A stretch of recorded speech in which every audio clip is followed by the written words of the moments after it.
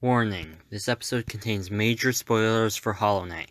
If you have any interest in this game, I highly recommend playing the game before listening.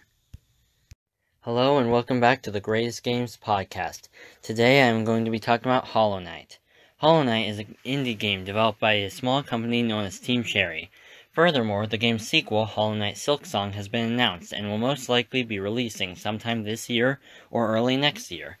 Something that is fascinating about this game is that it was created by only three people, who also happen to be the only staff of Team Cherry, being Ari Gibson, William Pellen, and Jack Vine. There were some other people who helped out, but these were more minor things, like voice acting and translations. The majority of the game was created by these three people. Hollow Knight, for those who don't know, is a Metroidvania exploration and combat game. It takes place in a world known as Hallownest, a bug world afflicted with some mysterious curse or disease that you are trying to get to the bottom of. That's right, I said a bug world. Every NPC, boss, ally, or foe that you will come across in this adventure is a bug of some kind, including your player character. This makes for an interesting setting for a grim style of game like this, while still having options open for a wide variety of settings and characters. Finally, as of February 2019, the game has sold nearly 3 million copies and is one of the best reviewed games of all time, having nearly a perfect score on both Steam and Google reviews. So, is all this excitement around the game justified? That's what I'm hoping to find out today. When you start up the game, it begins as most games do, with a cutscene. The cutscene opens with a poem that doesn't make a lot of sense when you first start up the game, but will slowly make more sense as you play through the rest of the game. The poem reads In the wilds beyond they speak your name with reverence and regret, for none could tame our savage souls, yet you the challenge met. Under palest watch you taught, we changed. Base instincts were redeemed. A world you gave to bug and beast as they had never dreamed. This is taken from Elegy of Hallownest by Monomon the Teacher. This is an important poem, however, Right now it doesn't make a lot of sense, so please just keep it in mind. The scene then cuts to a massive hulking figure in a dark cave. The large figure seems to be strung up on the ceiling by a large amount of chains. The figure seems to be unconscious, or at least asleep. Suddenly, the creature bolts its bright orange eyes open, seeming to have awoken from some sort of slumber. The creature makes a roar-like sound, and the scene zooms out to show a large boulder blocking the entrance to the cave. The massive boulder has the faces of three bugs carved into it, and the faces light up. From there, the scene cuts to a small insect-like character approaching a distant town. We don't know this character's goals or motives yet, but this character is who we will be playing as for the entirety of the game. The small character leaps off a cliff in order to get down to the town. This is where the game transitions to gameplay, showing your character falling for quite a long time. Suddenly, the small bug hits the ground and doesn't seem to have been hurt at all by the fall, further lending to the idea that this character is a bug, as many bugs can fall extremely far and survive. The way that you fell down doesn't look, closed off, so there's a feeling that with the right tools you could probably climb back up. But for now, there is no way for you to get back up, so you must continue on the path that the game wants you to go on. Two things become immediately clear as soon as you take control of the character. One is the controls, which are very unique and hard to get the hang of at first, and the other is the physics of the game, which are also a bit difficult to get used to. However, after having played the game for a few hours, both aspects become easier, and you will soon realize that the controls are actually beneficial to the style of gameplay. The first obstacle of the game is a few small weak enemies, which can be easily dispatched with your only item you currently have on you, a small cracked sword, which is referred to as a nail throughout the game.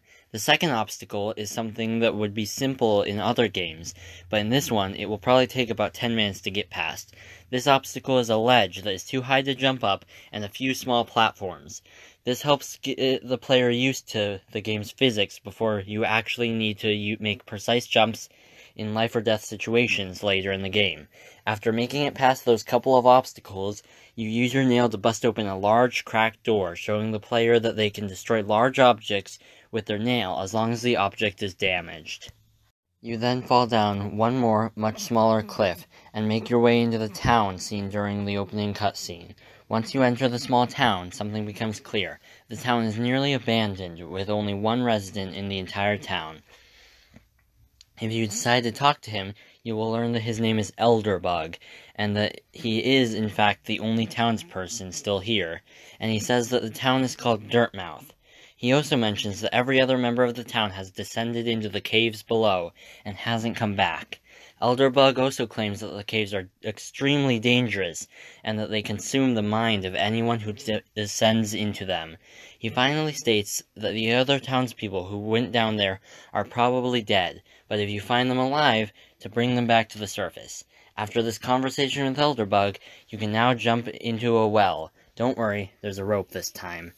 This brings you to the first true area of the game, the Forgotten Crossroads. This is where your adventure in Hallownest truly begins. Once entering the Forgotten Crossroads, you can go in a couple of different directions, but the first thing of note that you will most likely stumble upon is Quirrell, a rather peculiar bug who you will meet a handful of times on your journey in a handful of locations. This first time you meet him, he is located in a building near the place where you jumped down the well. Surprisingly, the large boulder with the faces carved into it is in the center of the room, and Quirrell is admiring it. If you talk to him, he states that this building is known as the Temple of the Black Egg and is the, a place of worship of sorts. He continues that bugs of all kinds used to come here and pray, but once a mysterious infection started sweeping through the area, all the bugs stopped visiting the temple. He also tells of how he is simply a traveler and is not native to Hallownest himself, but feels called to this place by some strange force. He finally states that neither himself nor your character seem well equipped to face the dangers that lie below. However, many have traveled down and fallen, and they might have had some useful supplies on them. After that, he stops talking, and it is difficult to get any further information out of him. However, before leaving the temple, you may notice that Quirrell is wearing a mask on the top of his head, like a hat, and the mask shares a striking resemblance to one of the carvings on the boulder. Once you leave the temple, you will most likely come across a massive sleeping bug. Approaching this bug will lock you into the area, and the bug will wake up and start attacking you. This is the first minor boss of the game and is known as the Gruzmother. After defeating this boss, you are allowed to continue to an area with a few rundown houses, most of which are empty. One of the small houses, however, has a fly-like character named Sly. He has a slight orange tint in his eyes and orange particles floating around his head. He is also hmm. quietly humming a strange tune. He seems to be in some sort of trance until you talk to him, after which the orange particles and orange tint in his eyes disappear. He seems a bit confused and bewildered at first, but after a second he explains that something occasionally calls him to this place, and that if you hadn't come, he might have stayed down here forever. He thanks you for your help and then leaves. After that, you can find him in Dirtmouth, where he owns a shop and sells you items that can help you progress through the game. The next place of note that you will most likely find is an area of the Forgotten Crossroads with a large pillbug type creature blocking the entrance to an area that has bright green foliage growing from it. This is obviously where you need to go next. The only problem is that the large bug is blocking your way and won't let you pass. You can't talk with him, and if you approach him to try to attack him, he simply curls up in a ball and becomes immune to any damage. If you are going to get past him, you will need some sort of ranged attack. After this, you can find a bug humming a cheerful tune. This is Cornifer, another resident of Dirtmouth. He will appear once in every area of the game, and will sell you a map of the local area. This is very helpful for exploration, and you will always know that Cornifer is near when you hear his telltale joyful hum that sounds like this. Mm-hmm.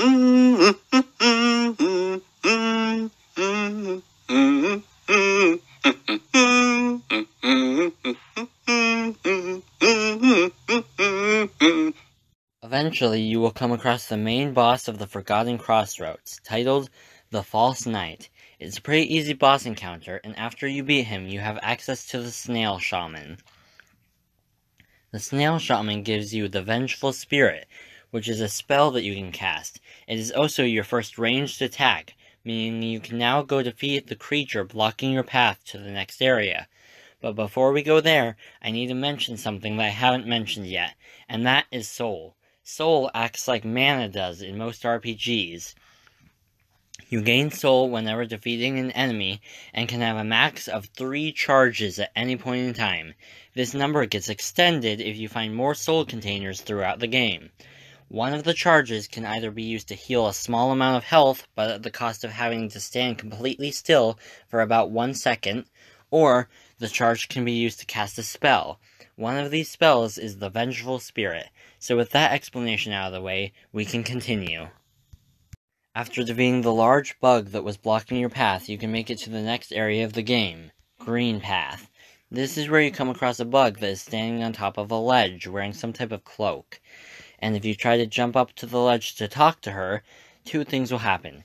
First is that she will leap off screen into the next load zone. And the second thing is that you will quickly realize that you just barely can't make it up the ledge and will fall to the foot of it instead. The rest of this area is basically chasing after this mysterious bug. Occasionally, you will catch a glimpse of her before she darts away to the next section. This area is mostly for exploration and side quests, which I will not be including in this summary and review, so there isn't much else to talk about here, and I'm not going to go over these subjects because that would make this episode far too long, and I'm trying to prevent that. If you want me to make another episode or two covering these parts of the game, please let me know. But for now, I'm only going over the topics related to the main story of the game. Eventually, you track down this mysterious bug into a small portion of the area where she confronts you. She claims to know why you are here in Hallownest, and tells you that if you do not stop what you are doing and leave, she will have to stop you herself. After this, you become trapped in the small area and are forced to fight this mysterious bug whose name you now know is Hornet. This fight is a lot more difficult than the one against the False Knight, and will probably take you a few more tries to beat. As such, I recommend you start using charms in this fight if you have not already started to use them. Charms are equipable items that you can find throughout the game. These charms give you a small buff, like making your nail have more range, giving you more health, or making your spells do more damage. Charms are never required to progress through the game, however, they do make it a lot easier to do so. After you manage to defeat Hornet, she admits that she underestimated you based on your small stature. However, she also warns that the next time she won't hold back. After saying this, she leaps away, leaving behind the dash cloak. The dash cloak allows you to dash forward a short distance, either in the air or on the ground. After collecting the cloak, you must immediately learn how to use it in order to escape the boss arena, as the only way out is a spike pit that you can't jump over because of the low ceiling. This starts a trend that most of the other boss fights in the game follow, where you gain an item from the boss, and you then have to master it before you can leave. This, it is an incredibly neat concept that teaches you how each item works without having a long, drawn-out tutorial after each boss fight. Before leaving Green Path and making your way to the next area of the game, you can visit the Lake of Unn, where you will find a small house on the edge of the lake. When you enter the house, you can find Quirrell resting inside, polishing his blade. If you speak with him, he tells you that your blade looks worn out and you may have a difficult time from here on out. After speaking with Quirrell, you can continue your journey to the Fungal Wastes, the next major area of the game. Something that you will notice pretty quickly after entering the area is that it's much more difficult than the previous two. The difficulty of the game definitely starts to rise here. The Fungal Wastes, as you may have guessed by the name, are filled with mushrooms. There are mushroom NPCs, mushroom enemies, mushroom items, and just plain old mushrooms. Pretty soon after entering the fungal waste, you will come into a large open room. Suddenly everything will start to shake, and then a large bug jumps out of the ground. She has a cloth bag over her head with eye holes cut into it. Talking to her will reveal that her name is Cloth and that she is looking for a formidable foe to challenge. She also mentions that she heard that uh, the Mantis tribe was around here somewhere. After this, you can make your way through the fungal waste until you find the Queen's Station. This is a large room that seems to be the heart of the Stag Station network. The Stag Station rooms in different parts of the game are all connected and you can travel from one of them to any other station in the game. It's basically a fast travel system. Once you unlock it and open up the first stag station, a large multi-legged creature known as the Last Stag comes running in. He states that these stations were shut down a long time ago, so long ago that his memory of the network of tunnels is foggy, and he can't remember them well. But he thanks you for opening up one of them again, as he was trapped inside when all the stations were closed down. As a thanks for freeing him, he offers to take you to any station that you have opened. This is an ongoing thing throughout the game. Every major area of the game has a stag station that you can open, and each time you open one, the last stag remembers how the tunnel system works more and more. Eventually, when you manage to open up every station in the game, the last stag will say that he remembers one more station and offers to take you there. He brings you to the stag nest, where you can find out that his name is a lot more literal than you may have first realized, as every stag in this station is dead, and every stag egg is broken. However, there is some hope, as one stag egg is still intact. Sorry for the extended explanation of the stag stations, but now we can get back to what is currently happening.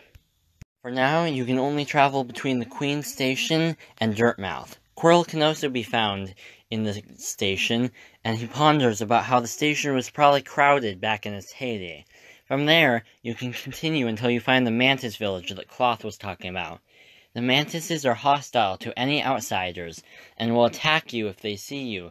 They are also incredibly strong, making this section of the game a semi-stealth segment, where you try to avoid as many Mantises as possible.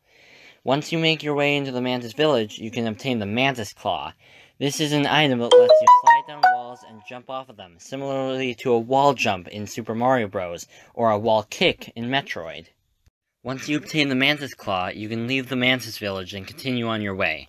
You will eventually spot Hornet again. However, as she did before, she will quickly dart away before you can talk to her.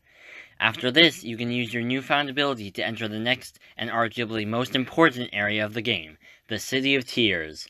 The City of Tears is a city where it is perpetually raining, and I haven't mentioned the music in this game yet as to not get too convoluted, but I do have to mention it quickly here as the City of Tears has one of the best soundtracks in the game. Just listen to this small portion of the main theme for the area.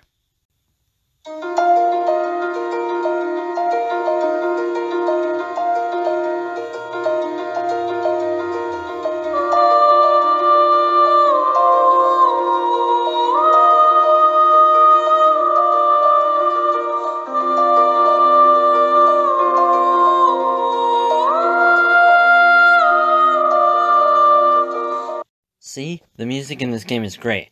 I don't have much extra time to talk about here, and I wouldn't be able to do it justice even if I did.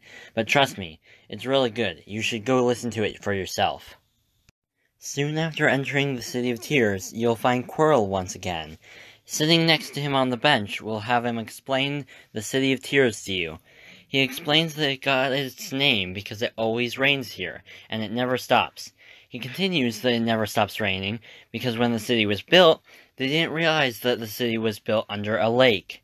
Quirrell finally states that he would love to visit the lake someday, and he ponders about how it must be a great view. Once you make your way further into the city, you come across a large statue depicting the hulking creature that you saw in the opening cinematic, with smaller statues depicting the three bugs whose faces you can see on the boulder in the Temple of the Black Egg. The three bugs are standing around the large figure, looking up at it. Inscribed at the base of the statue, there is a message that reads Memorial to the Hollow Knight. In the black vault far above, through its sacrifice, Hallownest lasts eternal. After reading this message, Hornet appears via cutscene and explains that the people of Hallownest knew about this infection a long time ago. The Hollow Knight and the, the three bugs known as Lurien the Watcher Monomon the Teacher, and Herrah the Beast all offered themselves as part of a deal to stop the infection. The Hollow Knight would contain the infection inside of his body and then enter the Temple of the Black Egg. After that, they would seal the temple shut. Then, Monomon would cast a spell on herself and the other two that would put them into a deep slumber and tie their life force to keeping the black egg locked, so that someone would need to kill all three of them in order to enter the black egg. The residents then hid the slumbering bodies of the three to keep them safe. However, Hornet continues by saying that this plan somehow didn't work, and the infection managed to escape. the Black Egg and continue to spread with the Hollow Knight now acting as its host. Hornet then tells the player character that it's their job to find and defeat the three that are linked to the Black Egg, and then enter the Black Egg and defeat the infected Hollow Knight and stop the infection for good. Hornet then ends the conversation by saying that if you are ready for the challenge, to meet her at the Kingdom's Edge. Hornet then leaves and you take control of the game again. You can then continue through the City of Tears until you reach a large building called the Soul Sanctum. By reading the tablets within the Soul Sanctum, you find out that when the infection started, there were some who believed that it could be warded off using soul but it would take a massive amount of soul, and the only way to get that much soul would be by killing hundreds of innocent bugs. These soul sorcerers brought this proposition to the king of Hallownest at the time, and he was so outraged by the idea that he banished the sorcerers who came up with it. However, the sorcerers proceeded with the plan against the wishes of the king, and started performing experiments. At first, this method seemed to work, even though there was an extreme cost. But eventually the leader of the sorcerers fell to the infection, and his disciples were soon to follow. The massive amount of soul that they took gave them incredible powers, but it was not enough to ward off the infection. Eventually, you will make it to the top of the sanctum, where you will have to face off against the leader of the sanctum and the sorcerers, known as the Soul Master. This fight is very difficult, but once you manage to beat it, you will be rewarded with Desolate Dive, the second spell you unlock. This spell allows you to jump into the air and then dive down and slam onto the ground, killing anything in your way and breaking through fragile ground. After this, you can go to the next area, Kingdom's Edge. This is where Hornet told the player character to meet her after fighting your way through the area which is one of the most difficult areas in the game, you finally find Hornet, where she once again challenges you to a fight. Once you enter the room that Hornet is in, you are locked in there until you either defeat her for a second time or die trying. You should hopefully be able to defeat her, and once you do, she lets you enter the area that she was guarding. This leads you to the end of a tunnel, where you are magically bestowed with the King's brand, making you the rightful King of Hallownest. You are then told to head to the resting grounds to find the Moth Seer, as she will train you and help you defeat the infection. Once you enter the resting grounds, you will quickly come across a statue of the three who are linked to the Black Egg. When you walk up to the statue, you are suddenly trapped within some kind of magic bubble. Then Monomon, Lurien, and Herrah appear in spirit form and tell you that you must defeat the infection for good. After telling you this, they suck you into a dream world where the silhouette of a moth appears and tells you to follow it. When you do, it leads you to a specific location within the dream world and then gives you an item. The item is the Dream Nail, which will help you defeat the infection. After obtaining the Dream Nail, you awaken in the Mothseer's house, and she admits that she's the one who helped you escape the dream world. She then explains that you are now within the possession of the Dream Nail, which will allow you to enter dreams, and that you can use this power to enter the dreams of the Hollow Knight. She finally tells you that there is a powerful god known as the Radiance that resides within the dreams of the Hollow Knight, and the Radiance is what's causing this infection. She explains that killing the Radiance will stop the infection. After this interaction, you are told to head to the Ancient Basin. Not long after you get to the ancient basin, you find mm-hmm. Cloth once again, and she tells you how she was no match for the monsters here, and how she just hid in the ground until you got here. But now, she says, as being inspired by your bravery, she's going to keep going, even though she was going to give up. After speaking with Cloth, you can find a dead king's mold in the ancient basin. King's molds were the protectors of the king, and by hitting the king's mold with the dream nail, you can enter its dreams and go to the White Palace, which is often considered the hardest area in the game. This area is extremely difficult and a platforming nightmare. There is even an alternate route that takes you to a new area that unlocks after beating the White Palace, called the Path of Pain. Once you make it all the way through the White Palace, you make it th- to the throne room, and you find the former king of Hallownest. He is dead by the time you get there, slumped over on his throne. However, he holds an item that is vital to beating the Radiance the right half of the King's Soul charm.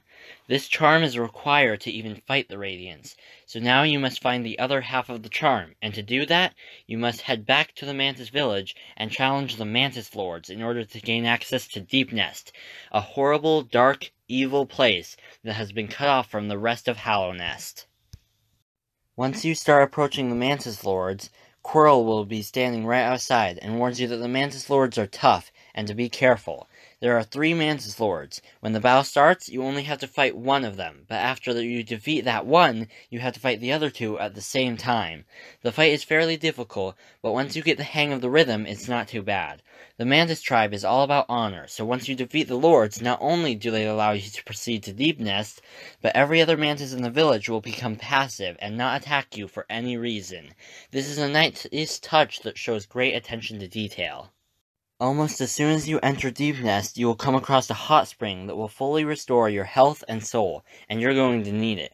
Deep Nest is extremely difficult. Nearly every enemy is hidden from view until you trigger them, and some enemies are even disguised as NPCs.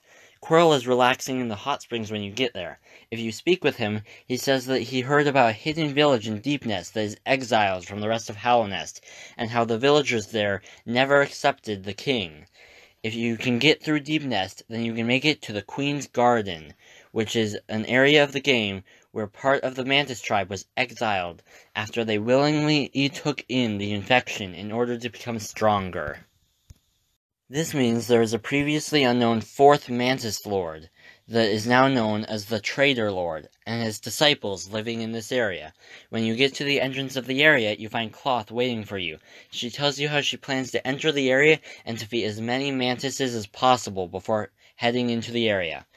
After this conversation, you can follow her in. Once you make it past an army of mantises, as well as other dangerous creatures, you finally make your way into the Traitor Lord to fight him. The Traitor Lords fight is similar to the fight against the Mantis Lords, in that the fight is very difficult but gets much easier if you know the rhythm. As soon as you start the fight, Cloth jumps into the arena and starts to help you fight. After you have fought the Traitor Lord for a while, he impales Cloth on one of his sword-like limbs, but with her last bit of strength, Cloth slams her club down onto the Traitor Lord, and they both fall to the ground, dead. Once the Traitor Lord has been defeated, you can proceed to the next room, where the character known as the White Lady is. She's permanently stuck in this room, but she was the former queen of Hallownest. Once you get there, she gives you the other half of the King's Soul charm. You now have the completed King's Soul charm. You now, now you must defeat Monomon, Lurien, and Herrah. Luckily, Monomon and Herrah are both nearby, as you can see on your map. However, before you go there, when you go back into the Traitor Lord room, Cloth's ghost appears above her body, and she remarks about how well she did in battle, and hopes that she can reunite with her loved ones in the afterlife. You must first head to the Teacher's Archives, a building located in a small area adjacent to Queen's Gardens, called the Fog Canyon. Right outside the Teacher's Archives, you find Quirrell once again. He says that he feels strangely compelled to enter the building, but he's not sure about it. After this conversation, you can enter the building, where you will find Uumuu, a giant jellyfish-like creature that is guarding Monomon. After hitting it a couple of times, you realize that your attacks aren't doing any damage to it. Right as you're wondering how to defeat it, Quirrell jumps in and strikes Uumuu, making it more look, look more like a deflated balloon than a jellyfish. After this, your attacks will do damage for a short period of time before Uumuu can inflate itself again. After that happens, you must wait for Quirrell to strike it again. Rinse and repeat this method about 10 times, and then Uumuu will be defeated. From there, you can go directly to the room holding Monomon. Monomon appears to be encased in some sort of large test tube filled with water. Quirrell enters the room shortly after you, and reveals that he is Monomon's personal assistant, and the mask that he wears on his head that shares a likeness to Monomon is a protection charm that Monomon gave him before linking her life force to the black egg. She told Quirrell to leave Hallownest with the mask and only come back when he thinks it is safe. Quirrell then explains that as soon as he left Hallownest, he completely lost his memory and couldn't remember who he was or what he was doing. He further explains that once he re-entered Hallownest sometime later, he slowly started regaining his memory. This is why he told you that he was a traveler near the beginning of the game, and why he didn't help you as much sooner. After explaining all of this, he takes the mask off his head and holds it up to the light. It disperses into particles and disappears. Quirrell then explains that the protective seal has been lifted from Monomon, and that she knows what must happen, and she will not fight you. Once you use the dream nail on her comatose body, you can enter her dreams, and she is standing there. You have no option but to continually hit her with your nail until she is defeated. After you wake up, Monomon's body is gone, and Quirrell is now sitting there without the mask. Quirrell says that now that his mission is complete, there is only one thing left for him to do, and leaves. Now you must go find and defeat Herrah and Lurien in a similar way to how you just defeated Monomon. Herrah is located in the hidden city in Deepnest that Quirrell hinted at earlier, and Lurien is located in his spire in the City of Tears. After defeating all three, you must head to the Black Egg and face off against the Hollow Knight and hopefully end the infection that is plaguing Hallownest. But on your way there, you can pass by the Blue Lake. This is the lake above the City of Tears that makes it constantly rain, and it is also the lake that Quirrell said he would like to see one day. Quirrell is found sitting on the edge of the lake. If you decide to sit next to him, you will get an achievement where the description reads, Spend a final moment with Quirrell. He also tells the knight that now, after seeing the world twice over, he finally feels at peace, and he is thankful that he could see its beauty again. After that conversation, you can finally get to the Black Egg, where Hornet is waiting for you. She warns you that if you enter the Black Egg, you cannot turn back and you must fight to the end. You can enter the Black Egg and find the Hollow Knight strung up to the ceiling with chains, as you saw in the opening cinematic. In order to fight him, however, you must break the chains that are binding him. After releasing him, he lets out a roar and the battle begins. After a fierce battle that will most likely take you a few tries, you will finally damage him enough that Hornet will dive into the battle and hold the Hollow Knight down for a few seconds, giving you the chance to hit him with the Dream Nail and enter the Dream World one final time. Once you are in the Dream World, the Radiance appears as the final boss of the game. This is the most difficult fight in the game, but eventually, with a lot of work, you will deal the final blow to the Radiance. After being defeated, parts of the Radiance will start flying off in every direction as it blows up. The scene transitions to a cutscene that is viewed from outside of the Black Egg. The entire temple blows up and creates a crater. We see Hornet stand up in the crater, most likely having been temporarily knocked unconscious from the blast. She looks at the ground and sees the player character's helmet-like object cracked on the ground, implying that the blast destroyed him since he was closest to it. However, Hornet takes a look around and sees that the infection is slowly disappearing from the world, confirming that the radiance is gone as well. Thank you for listening to this episode of the Greatest Games podcast. If you enjoyed it, please like and subscribe. And if you want to stay up to date on all the news about the podcast, please check out my Twitter account at Frederick Leland. Thank you.